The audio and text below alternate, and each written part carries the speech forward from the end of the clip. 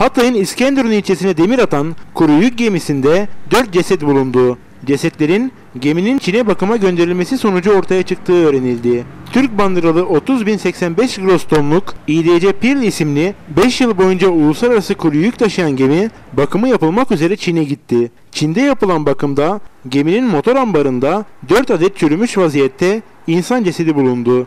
Çin hükümeti cesetleri kabul etmeyince İDS Pearl isimli gemi Güney Kore'den demir yükledi. Güney Kore'den Türkiye'ye doğru seyreden gemi İskenderun Yazıcılar Limanı'nda demirledi. Çin hükümeti tarafından Türk hükümetine bildirilen bu durum üzerine İskenderun Cumhuriyet Başsavcılığı tarafından gemide inceleme başlatıldı. Cesetlerin Çin'de yapılan bakım esnasında geminin motor ambarında çalışan işçilere ait olduğu üzerinde durulurken yurt dışına kaçak yollarla çıkmaya çalışan mülteciler olabileceği de iddia ediliyor. Olayla ilgili inceleme sürüyor.